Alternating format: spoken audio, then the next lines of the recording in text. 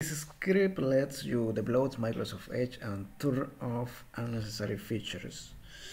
There is no denying that Microsoft Edge is a great modern browser, but its rich features that uh, may feel a bit overwhelming, even for experienced customers.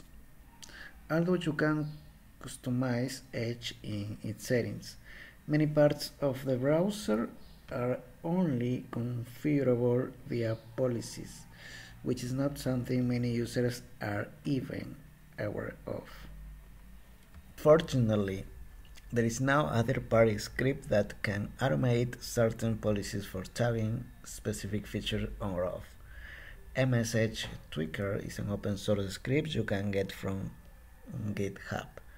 Its release it lets you turn off the initial experience splash screen that import from other browsers that think that begs you to let in it siphon your Chrome data and more. Uh, here is the full list of currently supported policies. Uh, disable the first run experience and splash screen. Disable importing from other web browsers on launch. Disable browser signing and sign services. Disable collections features. Disable Edge sidebar.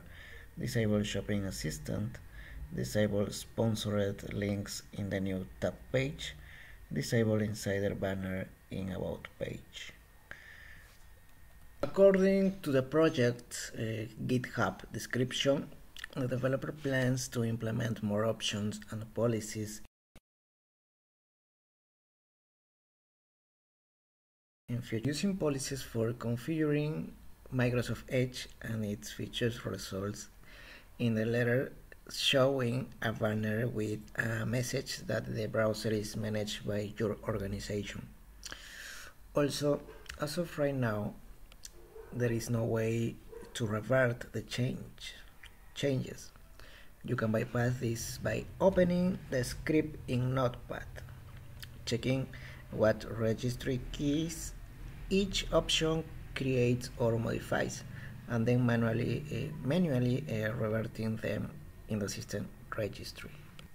If you are interested in MSEdgeTweaker, you can give it a spin by downloading it from GitHub.